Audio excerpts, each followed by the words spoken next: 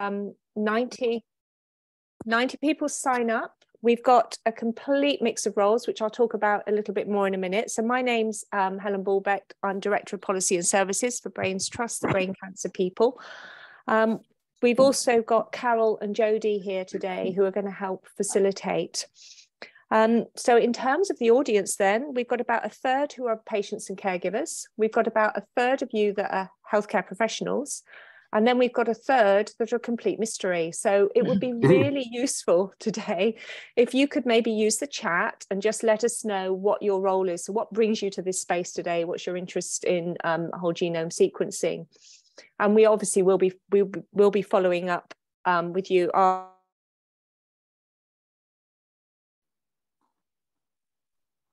I think you muted yourself, Helen.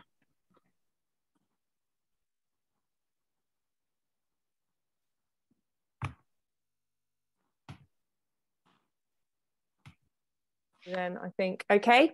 Um, I want to thank Brain Tumor Charity, Brain Tumor Research, Brain Tumor Support, BNOS, and the many others who promoted this uh, webinar for us. So I will be running a tight ship today. Um, most of my, my ships are I, I, run a tight shipwreck is what I like to say.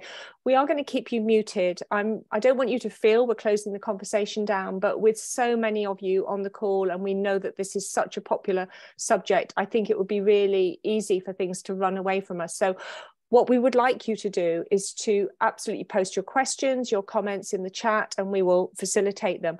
If you have a question and we don't get round to it today, we will have it captured and we will be sharing it with, with the presenters, with, with Colin and Alona and Olaf today, and we will get back to you. I absolutely promise promise that. So use the chat for comments and questions.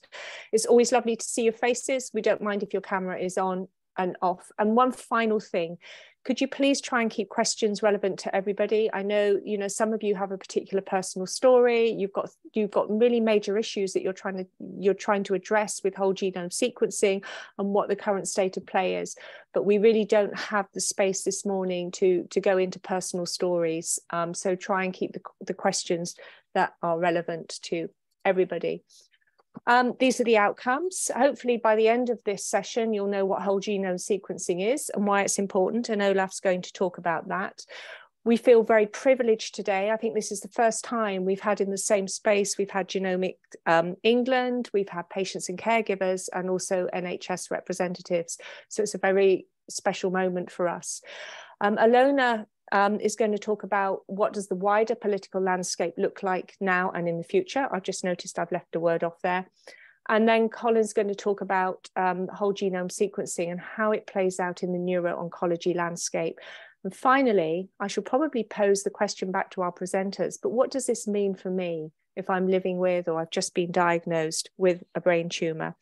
Um, because we, we know, you know, that at the moment there's a lot of complexity in this field how genomic sequencing is being adopted and used within oncology remains unclear. And I think there are issues around equity of access, and I don't, don't want to avoid talking about those.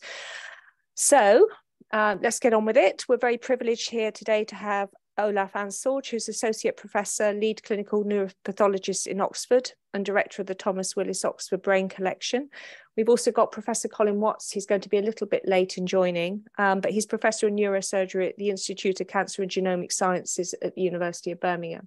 And both Olaf and Colin, I know, are very, very heavily involved in the brain matrix um, platform. And then very, very privileged to have Alona Sosinsky, who's the Scientific Director for Cancer Genomics England. So I'm going to stop screen sharing now. And Olaf, I'm going to hand over to you. Um, so if you could cover the what and the why of whole genome sequencing. Thank you very much.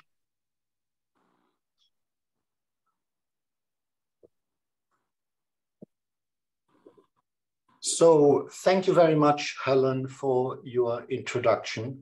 Um, I hope you can see a beautiful blue sky above Oxford.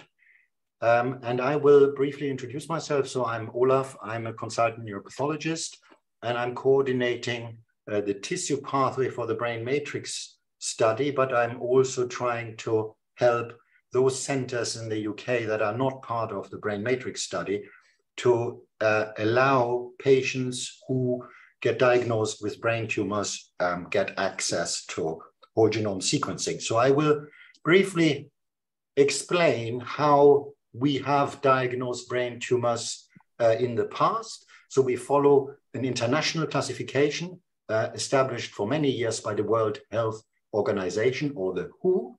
And essentially over the last 30, 40 years, the classification has evolved from purely microscopic examination of a biopsy to the combination of microscopic examination and genomics. And the genomics is, of course, the topic of today. And I will talk about how the genomics technology has or is allowing us to get ever more precise information about the nature of the brain tumor.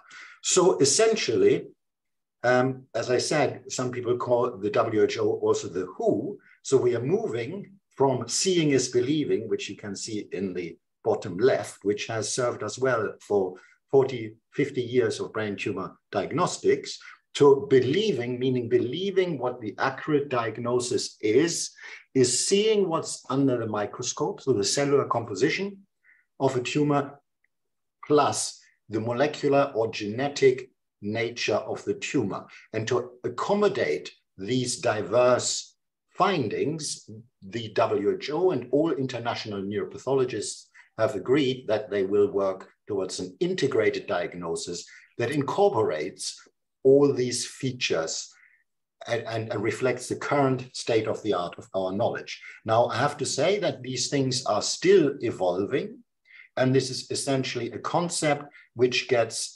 updated every few years to allow us to make better predictions and identify better treatments.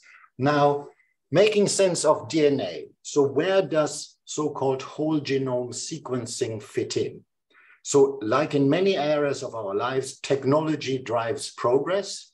So on this slide, you see on the left, the famous double helix. And as you may know, there is a very nice and strict rule of four bases that pair to each other in a stereotypical way. And the nature of the pairing determines the sequence of a gene and overall the sequence of the whole gene, the genome, which means all the letters that combine the entire um, DNA structure of a human cell or person. And how this has evolved over the last 40 years is essentially through three evolutions of technology, which you can see on the right. So the first one, which we now call first generation sequencing or classically Sanger sequencing, na named after Frederick Sanger, who discovered this, is essentially in a simple form, you can analyze one gene at a time. You know, there are thousands of genes. You could do one gene or a few genes at a time. And also for Sanger se sequencing, you actually had somehow to know what you are looking for. Now, next or second generation sequencing is what also includes whole genome sequencing, and that is called sequencing by synthesis, and it's dominated by one company called Illumina. And the principle is essentially that fragments of DNA will be synthesized into a new strand and then assembled and then matched against a reference genome. And that can happen in parallel and is very fast and individual dyes are attached to any of the individual bases. And then one can, like a puzzle, um, arrive at the whole genome DNA sequence. And there are variations of this second generation sequencing. This is from many genes, so one can select panels of 20, 30 genes that one thinks are relevant for a certain disease, or one can go for the whole genome with this method and that's what we call then whole genome sequencing. And the difference to the first generation is essentially that this can be done in an unbiased fashion. That means you can, you don't need to know what you're looking for. And this allows you to discover new variations that may be associated with disease. And then there's already a third generation or long read sequencing on the horizon, where one of the big um, players is from the UK, Oxford Nanopore, where the fragments are uh, uh, kept longer which is easier than to put the puzzle together. So one learns certain aspects of the structure of the genome and the chromosomes with long read sequencing that is currently difficult to decipher with um, short read sequencing. But I will focus now on whole genome sequencing because that is uh, now a mature technology and that is what currently is uh, applied to or is rolled out um, for brain tumor um, analysis. So what can this do? So here's a summary how this would work for a brain tumor patient. So each cell contains chromosomes and you can select cell types and compare the genome of the cell type. So in the top left, you see one cell and that could be a normal blood cell, which is non-cancerous, and a cell or cells from a brain tumor. The DNA is extracted. As I said, fragments are used and prepared for sequencing. That is done in an Illumina machine. And the color coding then allows you to assemble a full genome. And then here you can see what the whole purpose of this is. So you have the genome of blood cells as a reference from what is believed to be the normal sequence in your body versus the sequence from the glioma, either an individual cell or you know the whole average variation within a tumor that has been removed. And then you can compare the individual basis across the whole genome and identify what is private to the tumor, which means cancer as a largely genetic disease has changes that are not present in the blood cell, and those changes can be used to refine the genetic or genomic architecture of a given tumor. So to uh, zoom in on this um, last point, so what can we potentially do with the output of these whole genome sequences? So essentially, as I said, we could discover any genetic change that is private to the tumor in an unbiased fashion.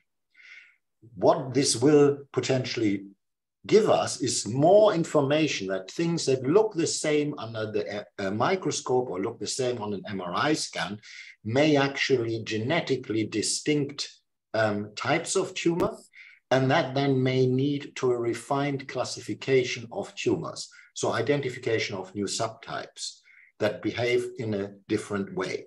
And then, of course, the main hope is um, that there are certain treatments that are much more tailored to an individual individual's tumor that, uh, that can be targeted against certain changes that are present in the DNA uncovered by whole genome sequencing. So that's the promise.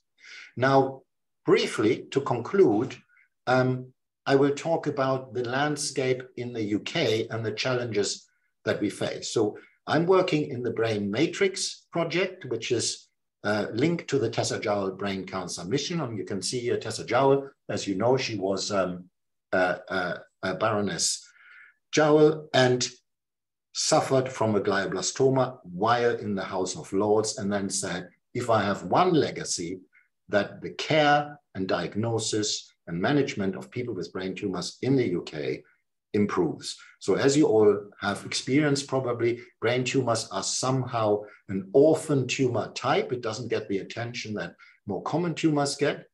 So what is happening in the UK now is that initially through Brain Matrix, but now commissioned for all NHS patients in England, that anybody who is newly diagnosed with a brain tumor and has surgery which produces some tissue is eligible for whole genome sequencing in addition to the standard diagnostics using microscopes or older genetic technologies.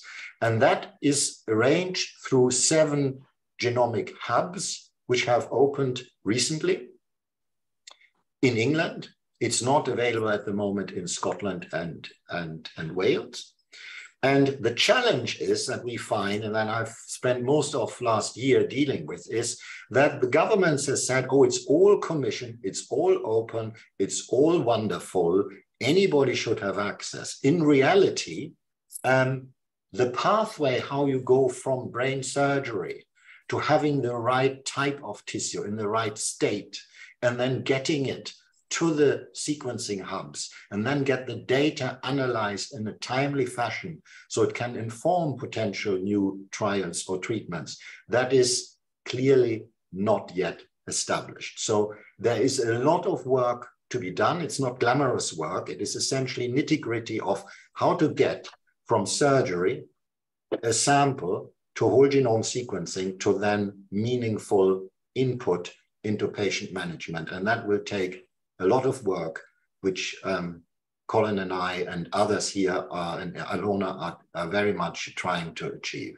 And on that uh, note, I just want to end and I think I'm happy to take questions unless questions are bundled up at the end. Thank you, Olaf. No, it so will. Thank you very much. Thank you. We are going to take questions at the end of each speaker and there will be opportunity for a wider discussion at the end.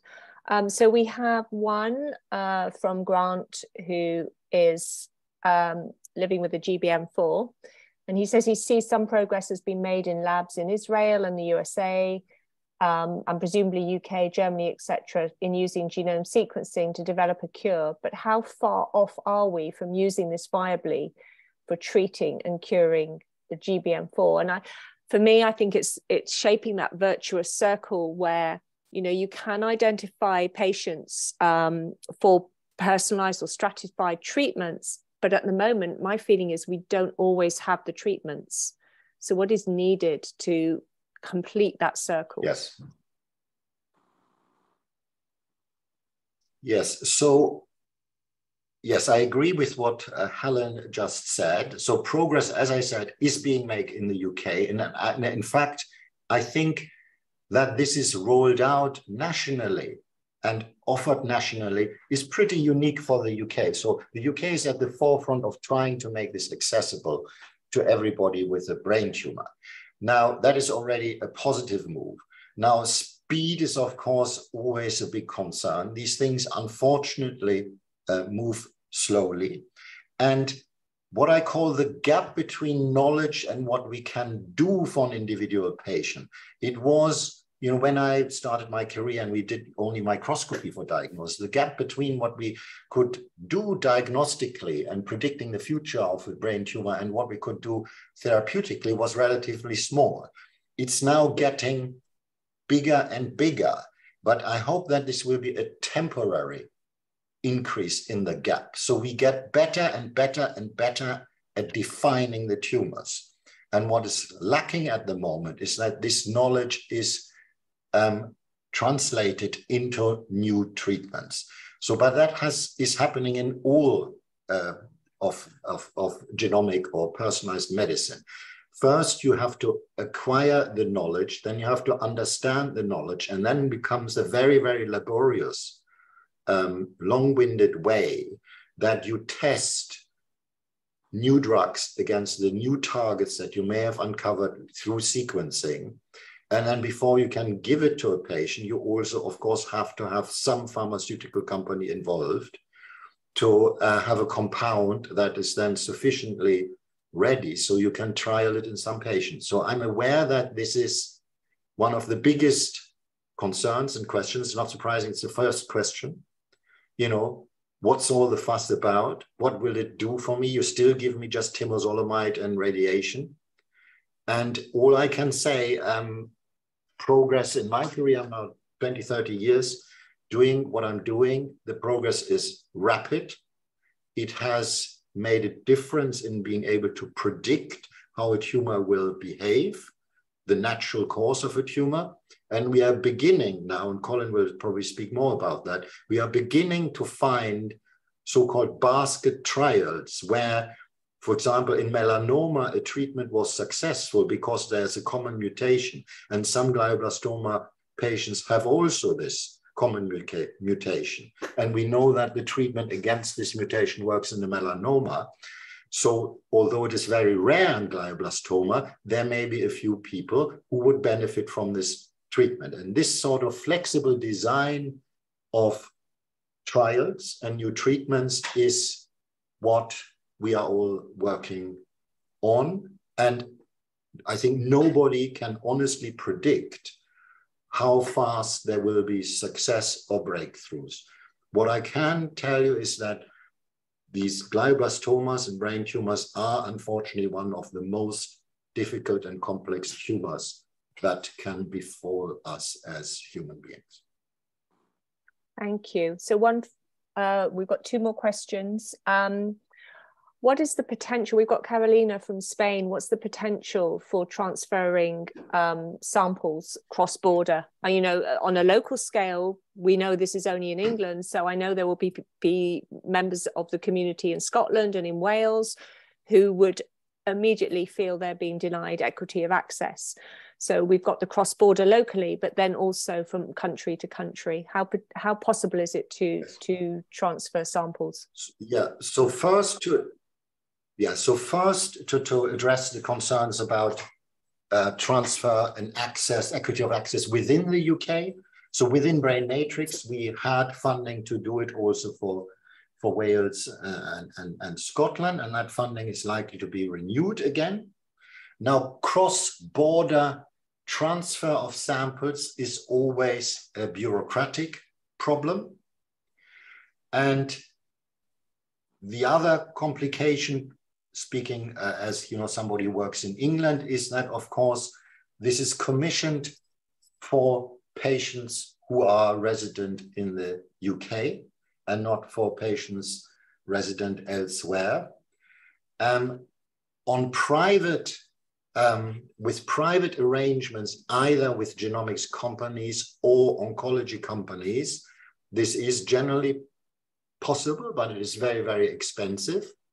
And I'm not aware yet that a network has been formed within Europe where people are asking the question, how could access to whole genome sequencing be widened beyond the UK borders. As far as I'm aware, um, the UK is the only country where there is, within the context of the National Health Service, such a service commissioned.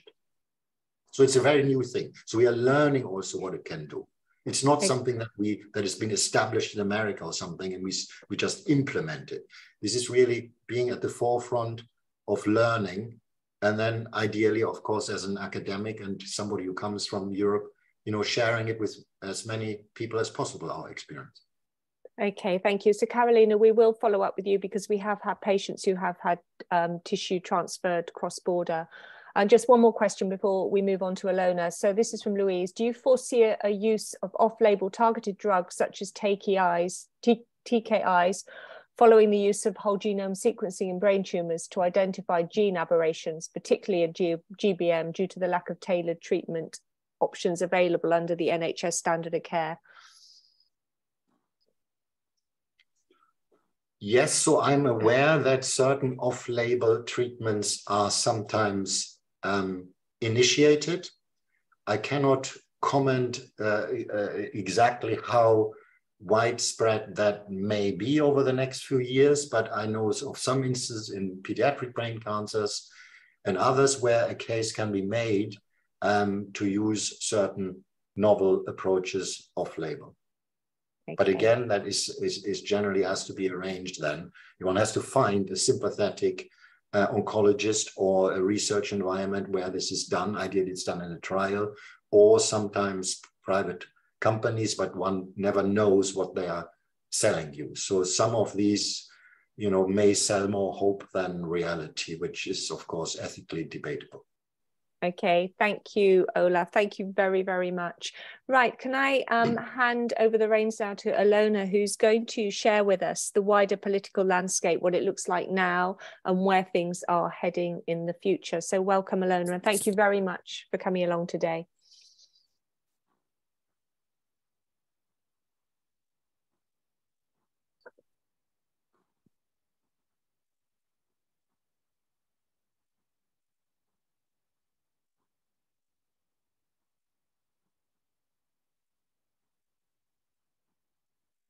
Can you hear me now? Oh, I cannot hear you. no, I, I'm muted. Sorry. I'm. Yeah, great. um, well, I I uh, dropped here the, the, the, word political from, from the title. Let's move it to the landscape of the whole genome sequencing. That's for, fine. That's fine. yes. Um, uh, thank you, Kelly, for invitation and for the um, presenting me. I will just repeat that I'm coming from the Genomics England. I'm scientific director for, for Cancer Day. Um, sometimes people um, misunderstand the role of the genomics England. we are not NHS, uh, but we are funded by the Department of Health and NHS is our main customer. Um, and oops, yeah. Um, and here is the slide which explain uh, what is the Genomics England, what is our position in the landscape. Um, and there were some questions to Olaf like, um, okay, you find mutations in the patient genome, what's next? And we probably today, um, the, these um, opportunities are a bit limited, although Olaf showed some like quick routes for the repurposing drugs.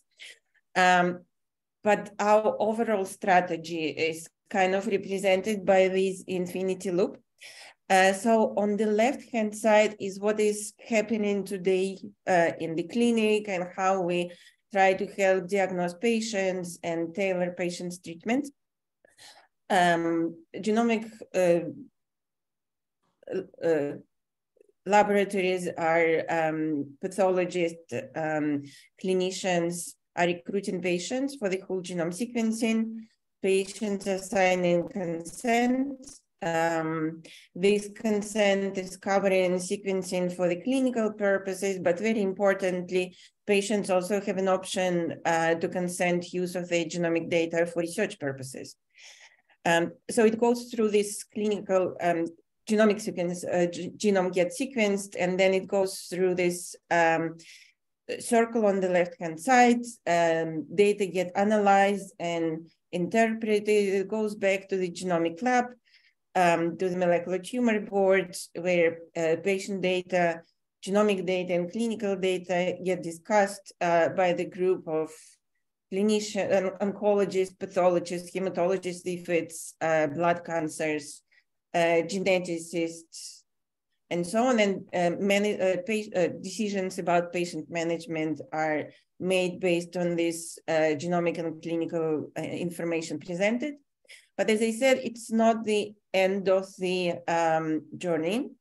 Uh, if patient opted um, opt in use of the genomic data for, for the research, um, genomic data and clinical data go into our secure research environment where it's get available for, for the research, for the clinical research, and also for the basic scientific research. So this is where we expect uh, breakthrough treatments, breakthrough happening, uh, new uh, targets are found for the for the targeted treatment, new drugs get developed. Um, and then all these um, breaking edge research goes feedback into our clinical loop. Uh, so we can do uh, new types of the analysis for the genomic data, find new markers which can be relevant to the patient treatment. So this is how we see this landscape of the genomic research. Uh, data that we collect as a part of our clinical circle goes uh, shared with the uh, researchers. I will just stress again, it's all depend on uh, consent that patient give for the use of their data. And then these new findings, they feed back to the new types of the analysis that we're doing for our clinical patients.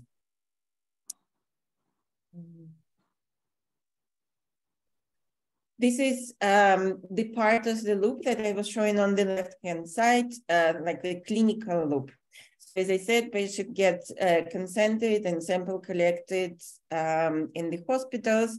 DNA get extracted at genomic labs and sent to Illumina for sequencing. That's Olaf very nicely described. Then it goes to the Genomics England for the analysis. So we find this, we call it variant calling. We find these um, mutations in the genome which can drive cancer that can be targeted with treatments which can help to refine patient diagnosis or provide uh, predict patient prognosis. Uh, these variants also can make patient eligible for the clinical trials. Um, so we doing like automated interpretation and outcomes are sent to the genomic labs where our results are reviewed by the clinical scientist and presented on the um, multidisciplinary tumor boards. Um, and then the cycle is completed by the um, refining patient management. Uh, here is just one of the success stories. Um, I didn't uh, pull patient with brain cancer. I um, we working very closely with pediatric um, uh, pediatric oncologist and hematologist from the Great Ormond Street. Uh, so this is a slide from our collaborator on uh, pediatric hematological cancers. Um, at the moment, I think we are very close to recruiting 100% of pediatric patients from Great Ormond Street um, for, for the whole genome sequencing. It's uh, proved to be very successful, give a lot of insights for, for patient treatment. So that was the case of the 11 months old patient with very mixed uh, phenotype for the acute leukemias. Those types of cancers are usually very hard to treat. Um, and standard of care genomic testing didn't find any abnormalities, was sent to the whole genome sequencing. Um, it finds a very unusual fusion between uh, between these two genes. Um, why these findings were so uh, important? Well, first we understood was was driving this leukemia, so we can make prognosis for patient, how patients respond to treatment. It's also very important to know specific rearrangements in patient genome. So we can start treating patients and repeatedly check um, if these fusions, if these rearrangements still present in the genome. If it disappears, then it's um, very likely that patients respond to treatment very efficiently and um, disease is cured for now. Also, there is a new treatment uh, for patients with this specific rearrangement, so we can use this treatment in the future if patients stop responding to the uh, to the standard of care chemotherapies. Uh, so this is just one of uh, very many stories of success. Um, so this is our settings, and I will go through it very quickly because um, Olaf already mentioned some of it. We collected two samples from each of our cancer patients. One sample is tumor, um, and another sample is just blood, is kind of reference. Uh, this is a genome that patients receive at birth. So we can compare these two genomes and see what actually changed in the tumor. So one of those changes in the tumor, or sometimes several changes in the tumor genome, is what is causing uh, development of this tumor, is what we can target uh, with targeted drugs, is what can predict uh, patient um, prognosis and patient response to treatment. And also, as I said, can make patient eligible for the clinical trial. So one of the uh, big challenges specifically for the whole genome sequencing is that we want to collect uh, we want to sequence DNA which was extracted from the fresh frozen tissue. And I can say it's a very political problem. Um, traditionally, uh, tumor tissues are dropped into the formalin to fix it, to prevent further um, destruction um, and unfortunately, once you drop tissue into the formalin, uh, you cause a lot of um, a lot of rearrangements of the DNA, a lot of fragmentation of the DNA. Um, so these DNA um, sequences, which are read from this DNA, will be very difficult to analyze. Um, and this is a change that we have to do in the local pathway in the hospitals. And so once biopsy is taken or tumor is removed, it can be dropped into the liquid nitrogen. And I'm just showing here graphical representation of the genomic data. What it looks like on the right-hand side, if you drop tissue into the formalin of the left-hand side is if you dropped it into the liquid nitrogen and DNA is much better preserved. Like for example, the middle part of this Circos plot is all these rearrangements between the chromosomes. And one of them uh, can actually drive cancer development. So if you look at the left-hand side, there are very few of them.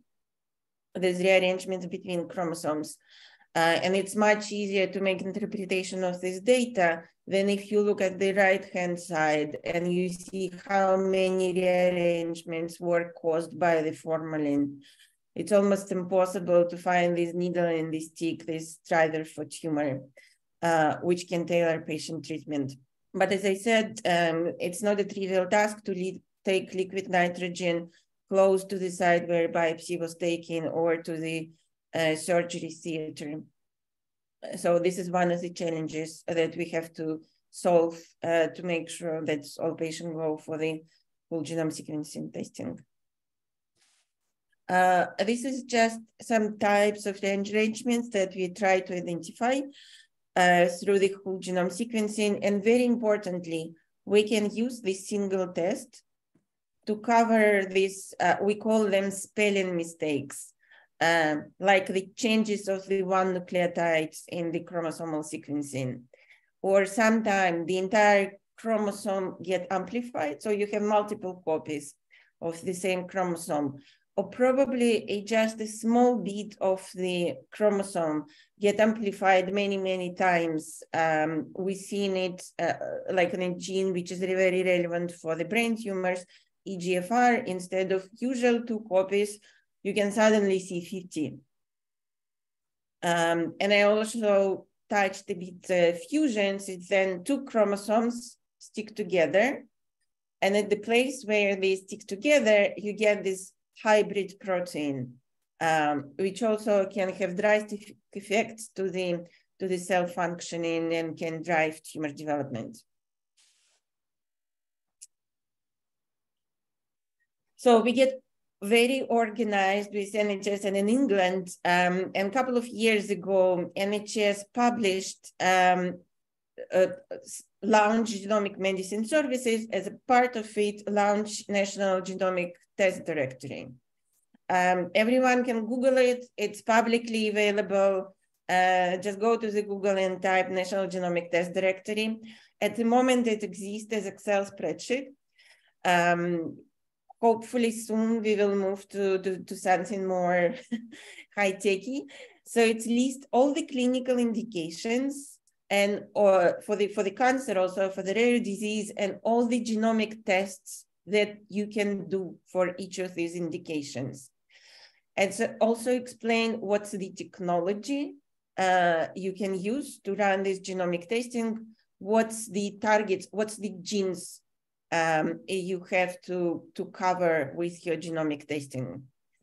Um, so the intention is that uh, at least in england all patients are um, eligible for the same set of genomic testing and equity of access, of course.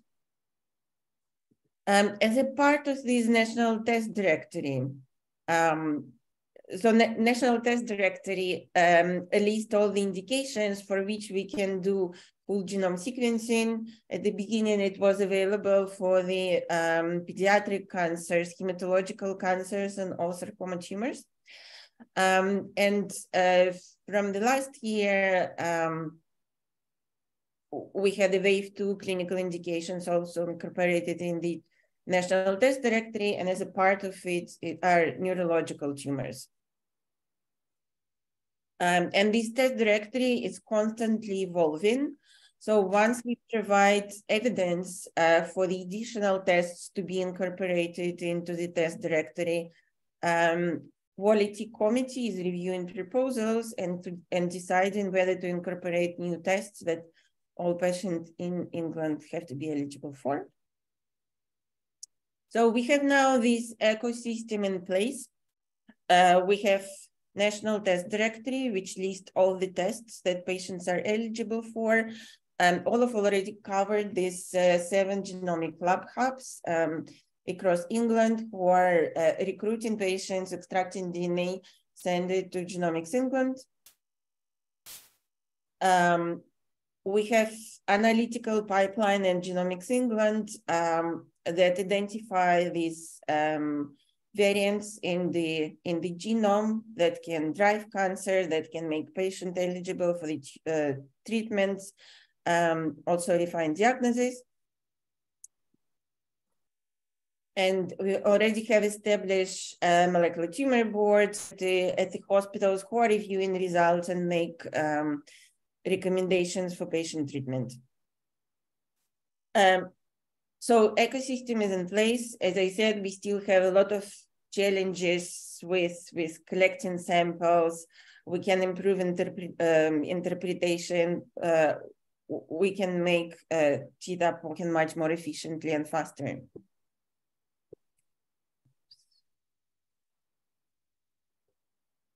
Um, and one of the reasons we uh, we want to do whole genome sequencing, just look at how small is the samples. And if you go through the list of tests um, for which patients are eligible, you can see that this small piece of tissue have to be split among so many different tests, um, which been around for quite some time. And of course, ambition is that uh, all this testing can be done um, with the whole genome sequencing as a one-stop shop, um, which cover all these different types of rearrangement and provide you a lot of information.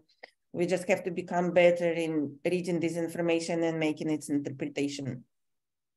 So this is just a short summary that whole genome sequencing is now delivered through the um, NHS Genomic Medicine Services and National Test Directory um, it's a one-stop uh, shop for finding different uh, types of variants. Um, one of the serious barriers um, is the quality of the DNA that we collect. And I covered a bit like how we make all of this data, okay, given the uh, patient consented for the, uh, for the use in research together with clinical information uh, patient treatment and outcomes of treatment to promote, to, to, to energize research, new types of the analysis and drug development. So I think I will stop here. A huge thank you, Alona. We've had some um, nice comments about the, the infinity loop model and very clear explanation. So thank you that. I think I've got about three or four questions. Um, we've got somebody who's um, in the infinity loop at the moment, and there's a question about timing. In an ideal world, how long would it take to do that complete loop? The clinical part of the loop now is taking two, three weeks. Okay. I don't think I can comment on the turnaround times for developing new therapies. Um, I think all of touched very relevant point on the drug repurposing. Uh, so this is probably can be very relevant uh, for the current patients. Um, if you see mutations for which drugs are developed and approved for other clinical indications, can, repurpose, can you repurpose, repurpose them for the, for the patient you see today?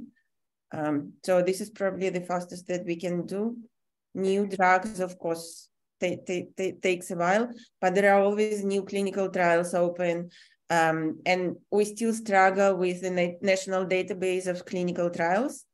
Uh, but I know that uh, there is a new development in the um, experimental medicine centers.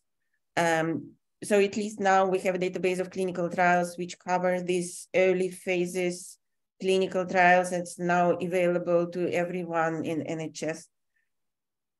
Okay, thank you. And I, I think maybe this is a, a question for Colin. Um, there's a, a, question there about does it vary from centre to centre? Um, and from your perspective, from cancer type to cancer type. So, for example, with breast, is it quicker to close the infinity loop with maybe maybe a less common or rarer cancer where it may take longer? Because we feel there is a mismatch between um, the aspirations and the ambition, but also the resources that are available on the ground.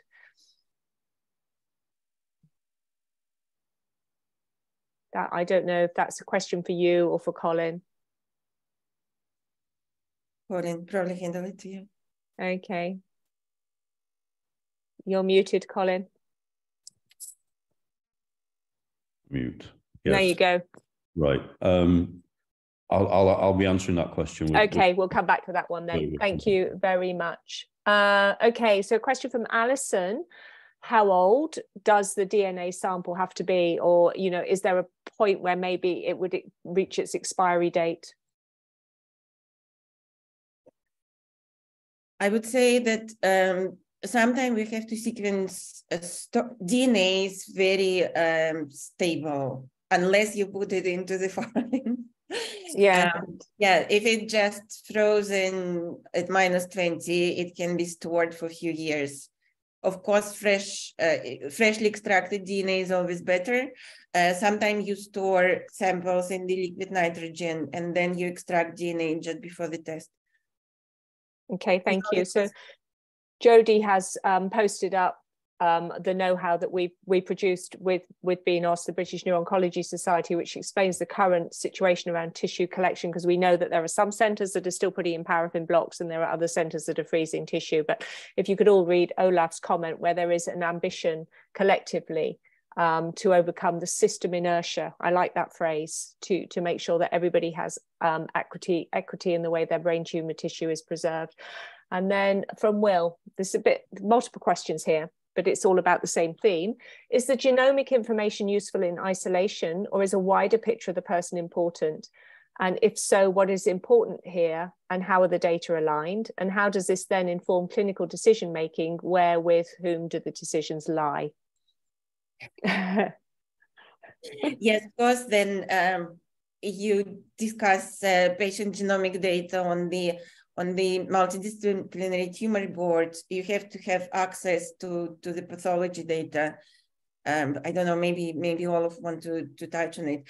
Um, we start developing a decision support system for the for the cancer patients, and at the moment it's mainly focused on the genomic data. But my vision for the few years ahead is that a multidisciplinary board just sit in the room with multiple screens, so you have all the information together together with image data. And actually, I would like to start doing automatic automatic interpretation uh, where you have genomic data and image data together because we just start using artificial intelligence on making interpretation of the image data if we can merge it together with genomic and it would provide much deeper insight Okay, thank you. Two more questions. What is the split in mandate between the GMS and GEL? And what is the current coverage of sequencing for cancer patients? Um, coverage of sequencing, we're doing tumors at 100x. Uh, we're doing germ lines at 30x. Is it technical coverage you were asking about? I don't know, SCOMA. I don't know if you wanted to clarify your question. I can't, more geographic. Thank you. Um, you know, I would say that at the moment we have these um, hubs of excellence. Like, for example, for pediatric tumors, we see a lot of uh, submissions from Addenbrooke Hospital from the Great Ormond Street. So I would say it's still the, the, the geographic, we get recruitments from all seven genomic lab hubs but it's not very even. Some people, uh, some centers are more uh, efficient in recruiting hematological tumors. Some centers are more efficient in, in recruiting brain tumors. It's not very even. Okay, thank you. And then is whole genome sequencing some, something that is done automatically or do people need to request it? Um, it, it's usually pathologists who is ordering tests but you know talk with your oncologist yeah. we had drama very touchy case when um, i think it was um, a single mom who come to one of our pediatrician and said that uh, she heard that there is a whole genome sequencing can help your child and she wanted to start crowdfunding and uh, pediatrician was very proud to say that you know nhs is already covering cost and we've seen more and more patients coming to their um, treating clinicians asking about whole genome sequencing. Okay, thank you so much, Alona. That was very insightful and, and hugely helpful. So I'm going to hand over to Professor Colin Watts now, and I think he will also um, bring some additionality to the, the two talks we've had already. So Colin, over to you.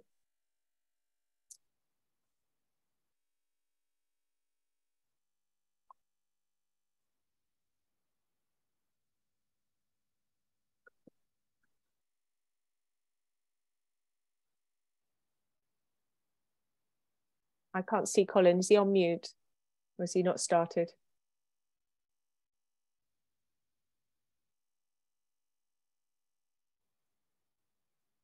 No.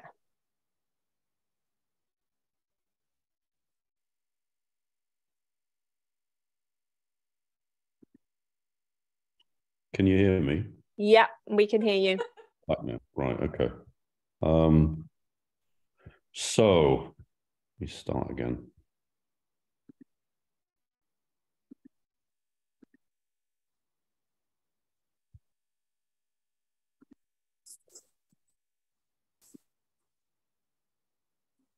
Okay, thank you. Um, hopefully, um, I'll be able to answer some of the questions that, that have been posed, um, or at least embellish the answers that have already been given. The purpose of this talk is really to uh, explain some of the real world stuff. And in as I begin, um, I want to acknowledge both Olaf and Alona, with whom I have worked a lot. Um, uh, in terms of some of the work that is very much an ongoing project and some issues that hopefully we can continue to work together to iron out. Um, for this audience, I don't really need to tell you that glioma is a bit of a problem and that it's a case of unmet need. Um, it's supposed to be an uncommon tumor, but when you start talking to people, it's quite surprising how many people know someone who's had a brain tumor, but maybe that's just my heightened awareness of it. But what is true is that the morbidity and, and, and cancer deaths associated with brain tumors are significant compared to their incidence, and that's an important uh, consideration.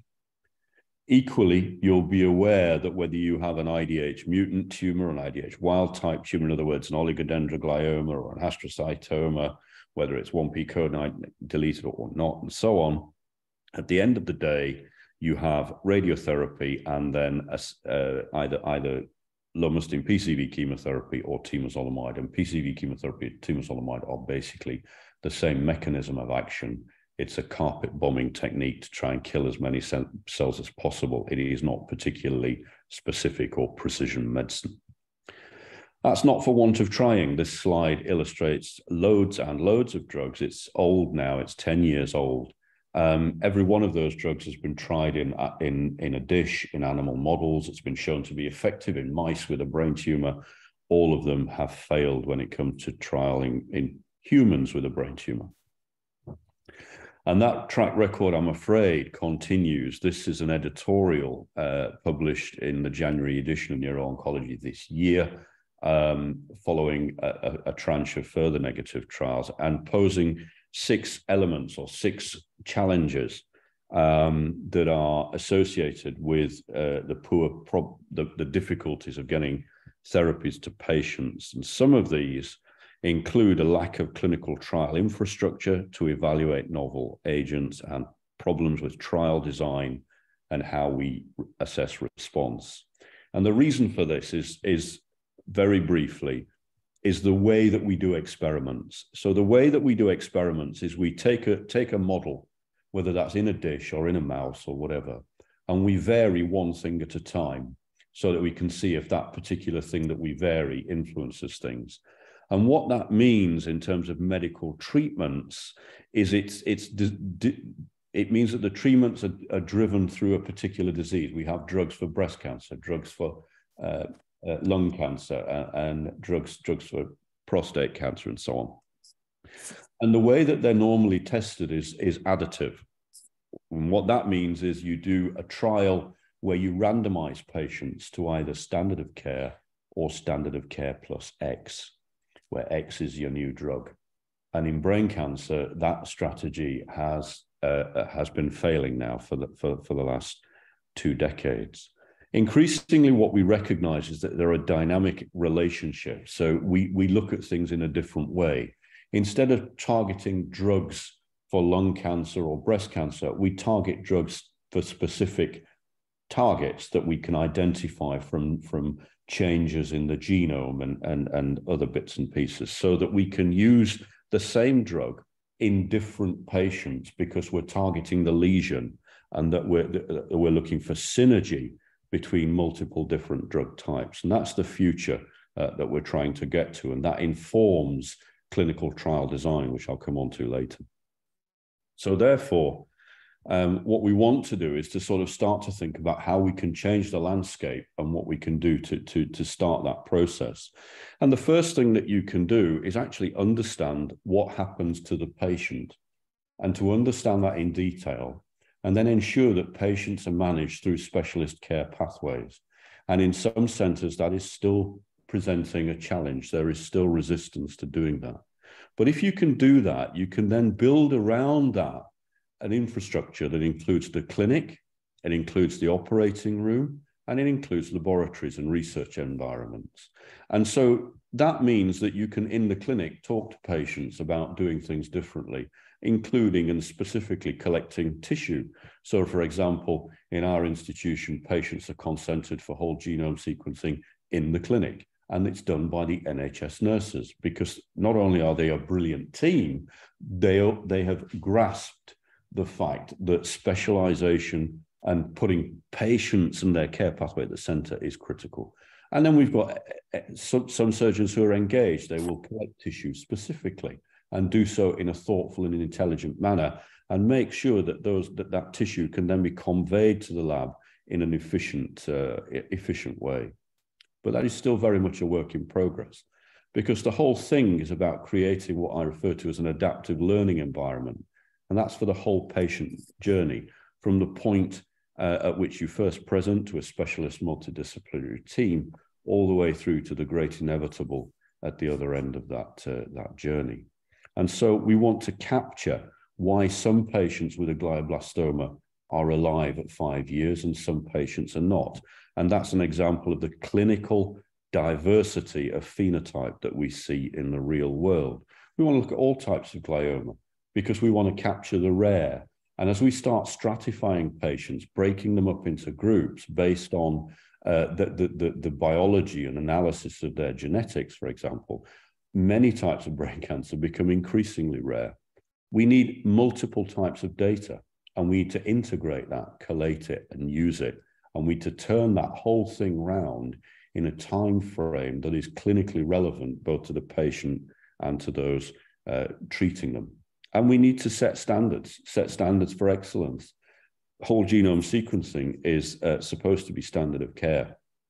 It, we're not there yet. We're still on that early phase of the journey. So, with that background, the idea behind uh, the, the Tessa Jowell Brain Matrix platform was a strategic program that would establish a national clinical network, and that is still a work in progress. It would employ state of the art diagnostics, um, recognizing at the time we were developing this back in 2018 that methylation arrays were, were important in diagnostics. And that is still a work in progress, getting that into NHS routine care. And then we want to integrate all of that genomic data, the, the, the, work that Olaf and, and Alona have been talking about, into routine NHS practice. We were future proofing this five years ago, and that is still a work in progress. And we need to do it at the early phase of, of trial development, as, as indicated by, by those concerns raised in the editorial published this month. So we need to do that in a specialist context. So the Brain Matrix platform was then conceived as, as basically integrating data with the object of trying to deliver clinical therapeutics at the end of it. So it's about taking the biology of the tumor, the, the clinic, what's been happening to the patient, the clinical data, together with the imaging data, and integrating all of that in order to provide rapid and, and accurate molecular diagnosis along the lines that you've heard from the previous speakers and deliver clinical trials of new therapies going forward into the future to act as a data repository because data is the zeitgeist of the 21st century. It's where all of our information needs to be. And we need to enrich that data further so that we can understand the impact of having asthma or diabetes on the management of patients with brain tumors. Because if you've got diabetes and you're on steroids, you're getting a double whammy because you, steroids promote sugar retention, which is at the heart of diabetes. And we're currently not collecting that kind of information. We want to facilitate engagement into, into clinical trials within Brain Matrix and beyond. We're not interested in creating a two-tier system, but we want to try and make it as easy as possible. And so one the, in order to take part in Brain Matrix, all you need to do is be eligible for a surgical operation. Now, the surgical operations are going on, but the recruitment into Brain Matrix is patchy. And the reason for that is that even when we make it as simple as possible to recruit patients into a brain cancer study, the resources just aren't there in terms of research nurses, in terms of clinic facilities to actually recruit patients. The objectives of, of Brain Matrix, um, to a certain extent, were number one, uh, an objective that's looking at the feasibility and process centered objectives.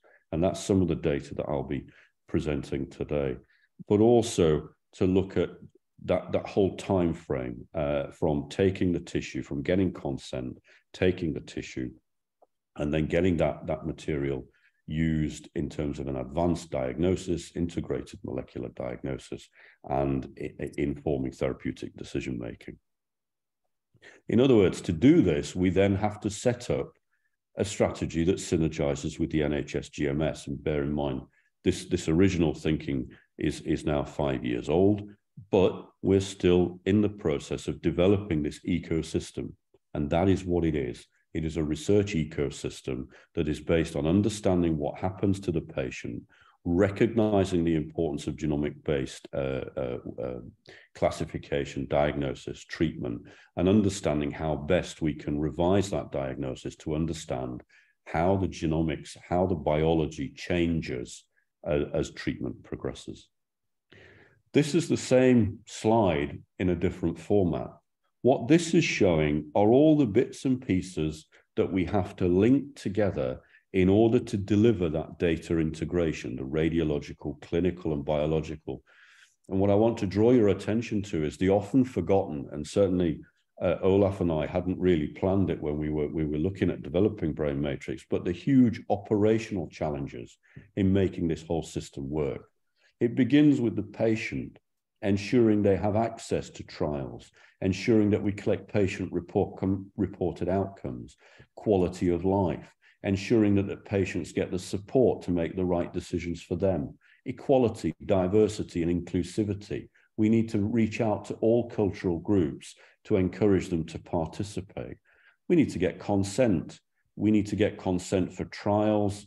We need to get consent for research. We need to engage with public and patient carers, understand regulations, and look at shared decision making in that process.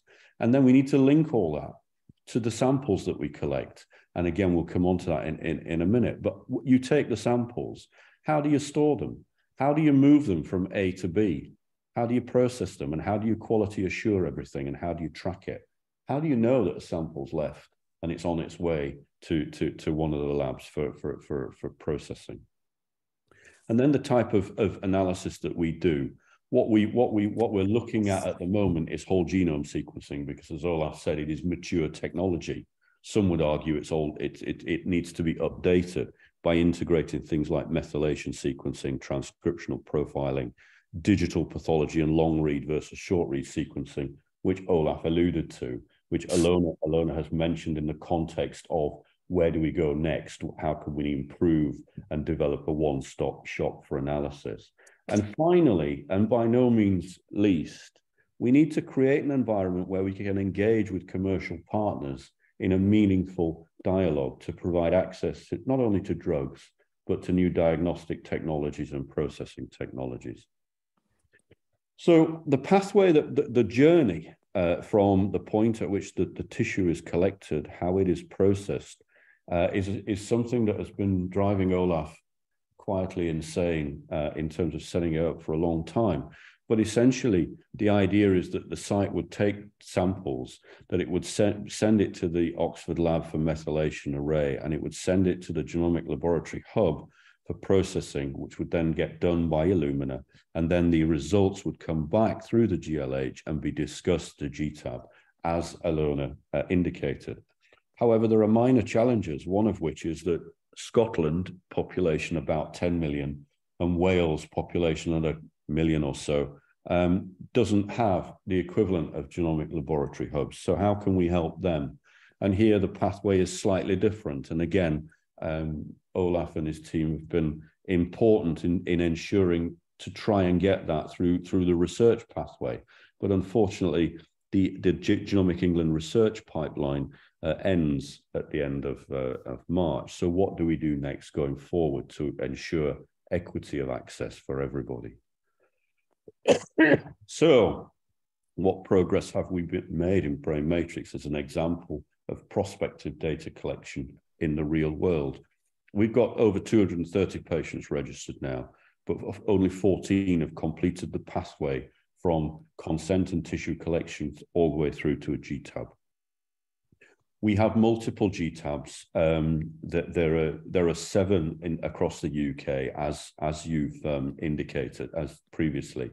We have representation in Brain Matrix of the Northeast, the Northwest, the East of England, the Southeast, and the Central and South.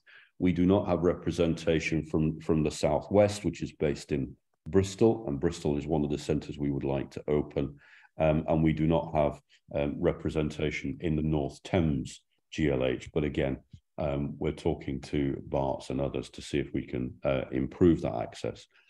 Because our problem is that the time it is taking for this process to happen is far too long. Um, and the caveat here is that this includes patients early on in our experience. So, patients one and two, for example, where it's taken years to, to get the material uh, processed properly. And as you'll notice, more recently, um, our timeline has improved. So we are we are improving.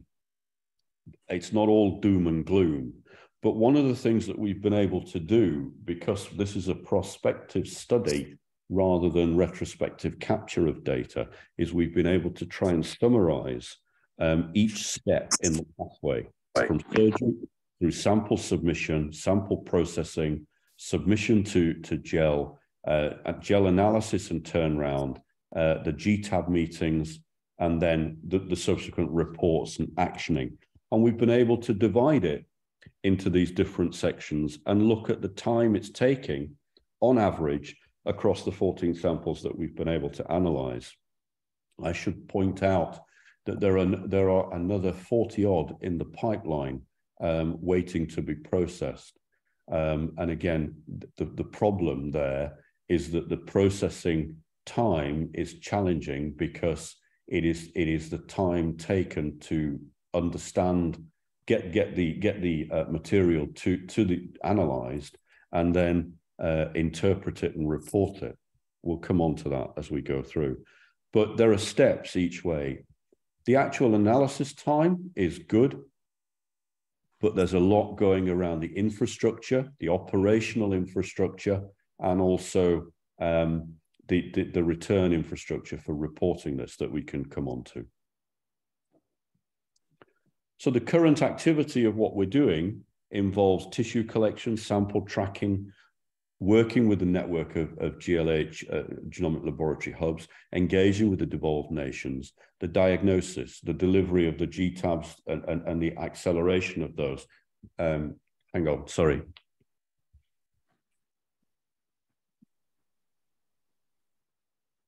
Louise?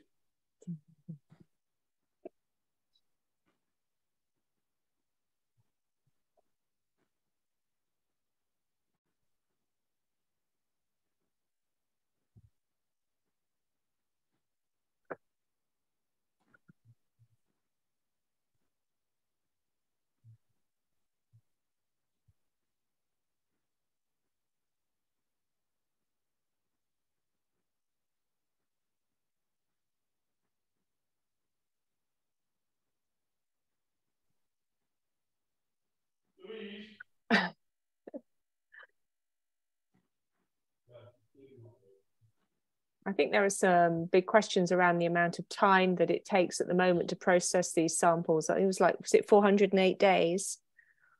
But yeah, so, sorry, about sorry that. about that. Um, That's okay, Colin. Yeah, uh, 408 days. Um, yeah. We, yeah. So, so this is the this is the sort of scope of things that we're covering at the moment, and going forward, this is the additional activity um, that that is going to have to be um, delivered particularly around understanding how we can improve access to new drugs, how we can develop commercial partnerships, and how we can do the education um, and capacity building. Because one of the things that we need is we need more oncologists to engage with the Genomic Tumor Advisory Board, and we need more people to facilitate the operational pipeline to collect the samples, complete the paperwork, and make sure that, that, that that's done in a quick and timely manner. And then there are, there are the stakeholders and partners, Genome England for the analysis pipeline, NHS England for the operational infrastructure, as an example. So what about patients? This is an example of a patient with a glioblastoma, um, because one of the things that will accelerate this process is when clinicians and patients see that there is benefit to doing this. And the benefit is still at an early stage of development. We have to be fair. The majority of the analyses show that there are no actionable mutations. When there are actionable mutations, there are three, and there is a drug to go with it. There are three options. One is to try and get compassionate access to the drug. Uh, and that involves a, an, an oncologist appealing to the company for compassionate use. That takes time. The, the, the other alternative is to repurpose existing drugs, and we're engaging with the Determine program. I'll mention that in a minute uh, to, to get repurposed drugs in. And then there's the, the efforts to get uh, first in man studies done. Um, but again, that's only in a minority. This is an example of a patient whose practice was changed as a result of the uh, um, genomic analysis. It's a 48 year old man with a MGMT methylated glioblastoma who originally underwent craniotomy and debulking in 2013, subsequent treatment. Disease progressed in August 2020 uh, and, and was commenced on, uh, on, on temozolomide, again, despite previously having it stopped due to bone marrow suppression. Um, further radiological progression, further surgery in 2021, started on alternative uh, chemotherapy, was further, um, further observed radiological progression in 2022, uh, commenced carboplatin in February of that year, uh, and then had a further surgical resection in March 22 with a good radiological result. Rechallenged with radiotherapy, oh. uh, which is an experimental technique, and samples were taken on on this uh, this this March resection, um, where the report um, included comment that there was a high tumor mutational burden, and this is where the number of mutations within the genome is very high. And that is thought to make it more likely that uh, immunotherapies might find an antigen that they can target. And therefore, on that basis, um, the, a, a, drug was added, nivolumab was added um, as an immunotherapeutic to try and improve uh, that patient's condition. And he is still still alive uh, and still uh, still well. So, what about synergy with drug development trials? This is different, but this is utilizing the same information, not for and taking that analysis and integrating it into new trials, new designs of trial. I mentioned earlier that instead of targeting drugs for breast cancer and drugs for prostate cancer, we can we can target drugs for mutation A or mutation B across multiple different cancer types, and that's called an umbrella umbrella design. And this is it in more in in a little bit well, so you can read it basically. So the whole thing um, is is is designed to get around giving different treatment arms based on an understanding of the biology across multiple different cancer types. And this is where we're going. This is this is something that's been done for Determine that is a combination of what we call umbrella trials and basket trials. And this is this trial design has been led out of um, uh, out of the uh, cancer trials unit uh, here in Birmingham by Professor Cindy Billingham, bring advanced trial design, something else that was flagged up in the editorial that we're already doing uh, in order to try and improve access to drugs. Watch this space. Nothing, nothing magical has happened yet, um, but we are putting that infrastructure in place. And last but not least, understand what, what are the challenges and actions going forward? We urgently need to secure whole genome support for, for Scotland and Wales and to have dialogue uh, with the relevant healthcare systems to provide that and dialogue with the English systems and with GEL to see what we can do as a temporizing measure until these the kind of infrastructure evolves north north of the border, as it were. We need to meet with genomic uh, leads and, and arrange meetings uh, bring together everybody, all the stakeholders involved, including Genomic England and NHS England. We need to consider alternatives to a methylation array because the methylation array is, is, is clunky. It's still not yet set up outside of a research pathway in, in, uh, in, in just about all of the uh, GLHs that I've talked to. Um, it's still something that is un undergoing validation in quite a few processes. And as Olaf mentioned, Nanopore is presenting alternatives that we should be exploring. There is also the, the, what you may have heard of the precision medicine program based in, based in Cambridge to understand what happens if you have uh, the luxury of lots of funding to do uh, multiple different types of tests. And we need to build on our current GTAB experience. In, in Birmingham, we have approximately 30 to 40 patients who have gone through the NHS whole genome program. There is a backlog of four months reporting that because the clinical scientists um, who are responsible for interpreting that data are working flat out, covering the whole spectrum of cancers, and there simply aren't enough of them to do it. We've had initial conversations with the GLH leads across the seven hubs and so I have a better understanding of which regions are doing whole genome whole genome uh, sequencing for brain cancer, uh, and there is huge diversity. Some regions have got it up and running, as for example the central and south uh, GLH. Others are starting to do so, the northwest and northeast. Um, others, for example, the southwest, are yet to start doing whole genome sequencing at all and are focused on panels including panels for, for, for brain tumors. We've also engaged with the Minderoo precision medicine people. It's worth pointing out that their turnaround time is between 10 and, and 21 days, not 408. Um, and the reason that they can achieve that is because they're doing it all locally. And if they have the funding, that if they have blocks in the pathway, uh, the NHS pathway, they can they can get round it using their research infrastructure. But it's worth pointing out that because those, those patients' data are not going through an accredited NHS pathway, they cannot use that information to inform clinical decision making through the NHS.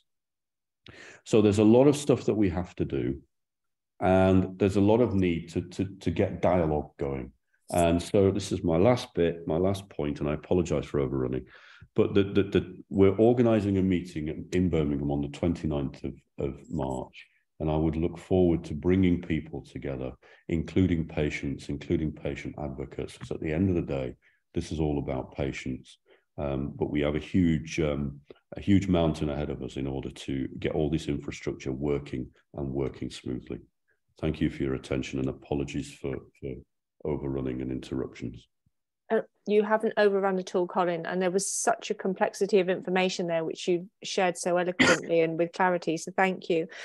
Um, I'm just going to wrap up. I'm aware of time. We've just got over five minutes. I've got one question which I'd like to throw out to Colin, Alona, and Olaf. Olaf, but Richard Mair from Cambridge, unfortunately, was on holiday this week because he was going to come along and talk about how they've managed to get it down to 21 days. But I'm just aware that this is time critical. If it's taking 408 days and you're diagnosed with a, a glioblastoma, then the chances are by the time the results come back, it's potentially going to be too late.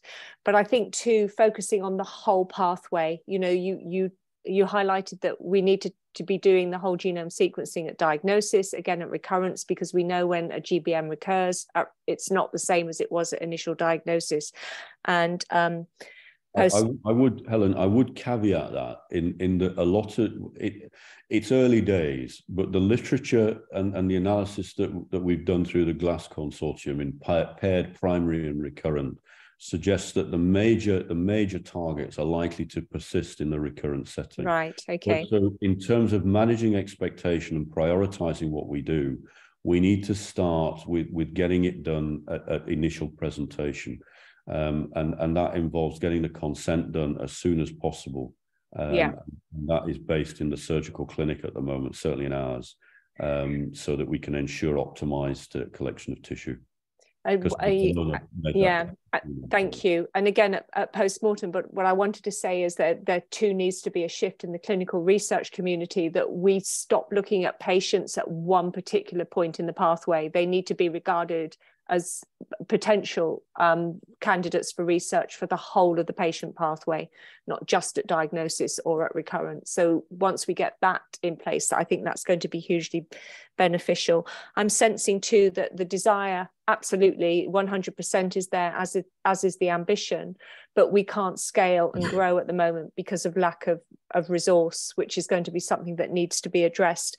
And I think stories, that story you shared of the patient is so powerful. And I think those have a key part to play in, in changing the dynamic that's out there so that we can, you know, get things in a better place for the people that it matters most to. So my question is, if you're diagnosed with a brain tumor, what is the one thing that you could do to help yourselves get onto this you know this um, i like the infinity loop that Al- alona referred to. What should you be doing to ensure that you have the best outcome for your situation in terms of whole genomic sequencing?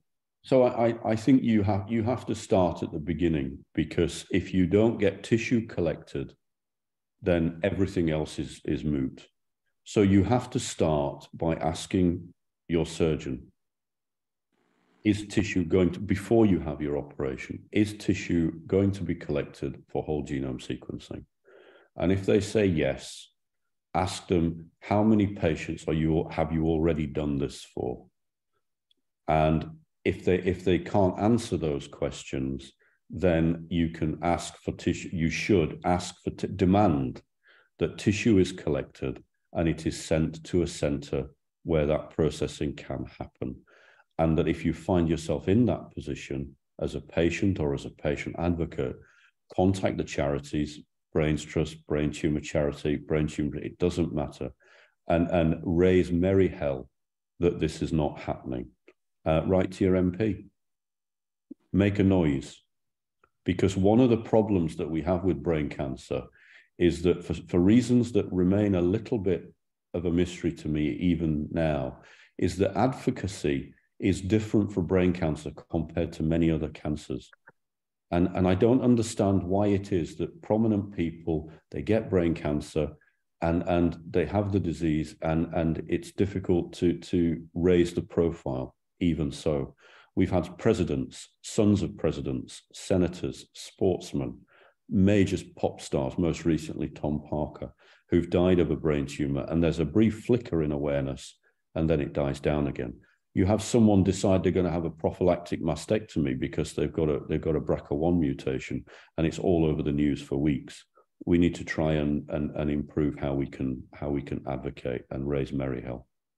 Okay, thank you. So there is a, a significant role that patients and their caregivers need Certainly. to play in yeah. this, and I think we charities have a role in terms of educating um, the public. So, Alona, Olaf, any last words?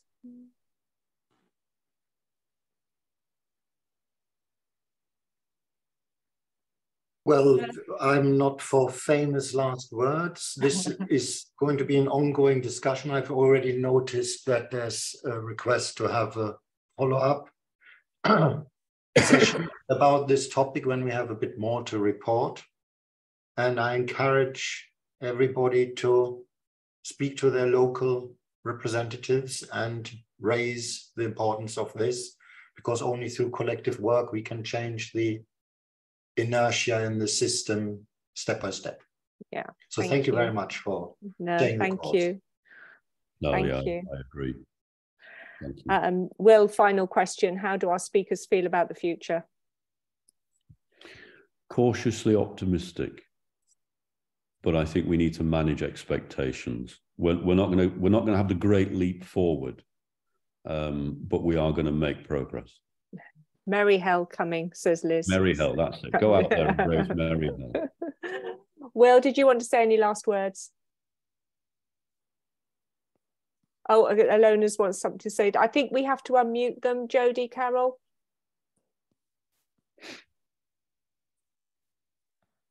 The host would like me to unmute. That's not something. That's not something Alona, I've Alona, ever on, Alona just wants to say something, Will. You go for it, Alona. Yeah, I've been with Genomics England for seven years from the start of the 100,000 genome projects, and we sequenced first uh, 13,000, well, 15,000 cancer patients. And it's been the, the most challenging job, but you know, I'm still here because I'm sharing Colin optimism. It's it, and I find it very rewarding. And thank you so much for joining us, supporting, and let's stay connected. Yes, definitely. Thank you. Well, Uh, no, just hey, huge thank you, um, Olaf, Colin, Alona, for for shedding some light on this this dark corner for us all today. Um, every time I sort of come into this space, I feel like things have moved forward. At the moment, it feels like inquiry, inquisition, exploration, learning was the word I heard. Are really, really important. Um, and I just think, you know, Colin, to echo what you said, the more we talk about this with each other, with our doctors, um, you know, the more noise we can make, the better. And I'm just hugely grateful.